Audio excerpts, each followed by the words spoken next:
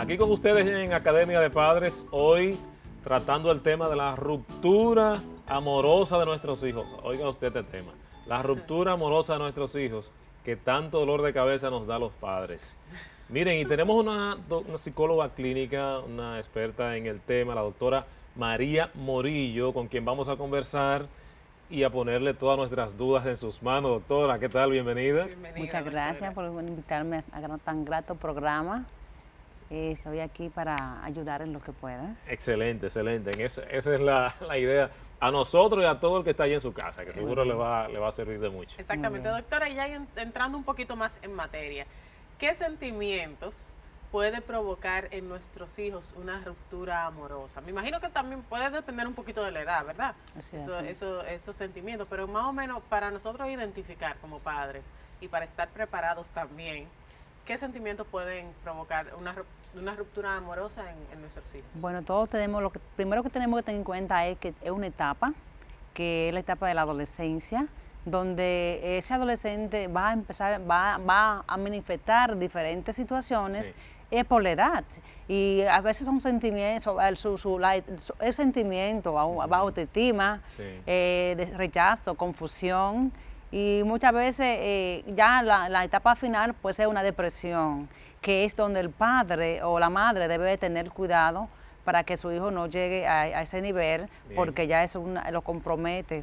y lo que más debe tener el padre es que debe estar vigilante de, eh, a, sus niños que son adolescentes, son niños. Aunque a veces son adultos, pero siempre para los padres y para la madre siempre van a ser para niños. Para mi mamá, yo eh, cuando Dios la tenga en gloria, un muchachito, yo, imagínate, ya con bigote y todo, el niño de la casa. Eso es así, siempre vamos a ser niños para los padres. Exacto, y, y, efectivamente, ¿cómo uno puede ayudar, doctora? Porque a veces uno tiene, hablábamos en el segmento anterior, cierto temor de, abordar a nuestros hijos cuando están en esto, ¿no? Queremos que vivan su experiencia.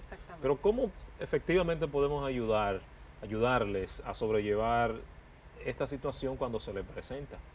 Bueno, lo que sucede es que eh, los padres deben ser amigos de sus hijos y no solamente no deben de esperar la edad de la adolescencia eso es un trabajo que se hace con anticipación. ¿Y cuándo comenzamos entonces? Eso es ya desde niño. Tú debes de estar con tu niño jugando, diciéndole las cosas, cómo deben de ser. A veces no, tú tienes que ver la etapa y aprovechar el momento para de compartir con ellos, siempre hablarles, siempre en la base del hogar es la comunicación y es donde se aprende, no, no en la escuela como las personas quieren ver. Es la, el principio, la, primera escuela para todo ser humano desde que nace es, la casa, es su hogar, es la familia, porque eh, es alguien que usted está educando, porque aún después dice la palabra que va a dar cuenta, entonces usted debe de invertir tiempo para que tenga algo de calidad. ¿Y si mi hijo no quiere hablar, doctora? si mi hijo no quiere hablar del tema. Eso es un tema. ¿cómo yo, ¿Cómo yo me aproximo? ¿Cómo yo le dejo saber que estoy preocupada como padre? Y, cómo yo le puedo brindar la confianza de que, aunque no quiera hablar conmigo, tal vez me reciba y me abra los brazos. Siempre cuando hay, unas, hay técnicas si usted ve que su niño no quiere hablar, de, quizás no quiere hablar físicamente, pero muchas veces no hablamos solamente con hablar. Hay gestos, eh, hay cosas que quizás a él le gusta y usted puede buscar, eh, estudiar. Cómo acercarse, qué le gusta a él, qué le gusta hacer, dónde le gusta ir. Si le gusta, si él ve que a usted le gusta ir al cine o que le gusta comprar o que le gusta, usted, mi amor, ven, que quiero eh, darte una sorpresa con algo que a él le agrade. Y eso pasa de una manera porque es una etapa bien linda y es que tiene que tener un rompimiento a su vida con algo para que, porque es aceptar, es que puede aceptar. Exactamente. eso, es así. Y sobre todo que a veces confían más, eh, entonando la pregunta que tú hacías, uh Mayra, con los de afuera, con los amiguitos que están alrededor, con los amiguitos de la escuela, con, con ciertos vecinos que crean más confianza que con nosotros mismos. Sí, claro que sí, claro que sí. Incluso en, en, el segmento de qué dice el vecino, muchas personas mostraron preocupación en que hay veces que los niños no quieren hablar con uno, pero hablan con un amiguito que no es saludable, que tal vez no le da el consejo, el acompañamiento que quizás necesiten en ese momento. Eso es así. Entonces es muy importante eh, tenerlo bien claro. eso es así. Y doctora, una vez, por ejemplo, eh, vamos a ver, la ruptura y viene ese duelo que usted decía al principio, depresión y tal, tal. ¿Qué tiempo sería normal que esté ese duelo eh, y a partir y, eh, y cuándo ya poner la voz de, al- de alerta. ¿Qué tiempo más o menos debería durarle a mi hijo adolescente entre 10, 15 años más o menos? Bueno, es que el tiempo no se puede medir, porque el tiempo lo va a determinar el, afecto, de la aceptación, de, lo- de- de la confianza, Sí. de que, que él puede encontrar el soporte para que le haga reaccionar y él pueda salir. Hay unos que lo hacen de una vez y hay otros que le toman más tiempo, porque va a tener va, va- eh, su parte afectiva, Exactamente. su personalidad, es decir, su identidad, es la que va a O sea, que no el tengo que alarmarme si dura más No. tiempo de lo, de lo normal. No, porque algún- eh, él va a salir, porque usted va a hacerlo, va a, ser- va a tener, va a estar ahí Sí. Para, que no se sienta solo. Es lo que va a necesitar un, un soporte, un, apoyo para saber que no está solo y que esa es una etapa que vas a terminar, que, que empezó y vas a terminar. Bueno, Una pregunta, doctora, ¿a quién le duele más, a los hombres o a las mujeres? Mm, Lo que pasa es que las mujeres somos más expresivas. Sí. Entonces, usualmente sí nos damos a notar cuando Sí. tenemos... eh, cuando los- hay una ruptura amorosa no hay que decirlo porque nos Los vamos a ver más tristes eso. conservadores en Exactamente. eso, pues, Entonces, sí. me imagino que tratar de, de consolar a un varoncito Sí. no se den es que más nadie se, que nadie se difícil. dé cuenta de que... Claro, Sí. claro. Siempre, y que no importa. y- Él le gusta mucho hablar más con el papá. Exacto. Y que no le gusta contarle por la mamá, pero entonces el papá tiene que ser astuto y con sutileza eh, eh, eh, Exactamente. buscar esa empatía con él. Exactamente, es un O asunto sea, de que, los dos. que a los hombres entonces nos duele más eh, la ruptura. Sí, eso es ocurre. así, eso es así.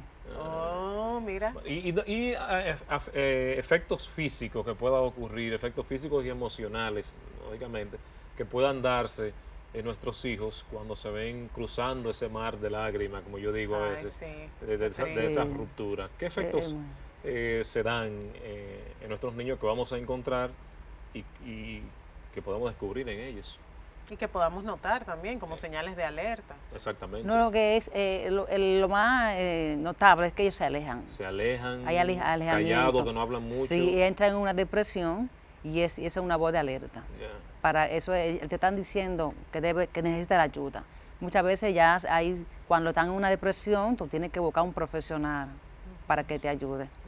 Y a veces eh, ya, ya el profesional lo que te trata es la terapia de familia, porque es de aceptarlo Bien. y de ayudarlo. Toda la familia entonces tienen que tener en- un enfoque en esa persona. Sí, y es muchas veces los padres cometemos el error de minimizar Sí. el problema eh, del niño Y o del, eh, de la- eh, del adolescente. Así me es. pasó, me pasó. Sí, ¿no? bueno, Ah. eso no es nada, mijo. Exacto. Más para adelante vive gente. Eso, Eso es, eso es no- prudente que nosotros hagamos eso de no, minimizar. y claro que eso. no. Debe decir las cosas con propiedad para que reaccione.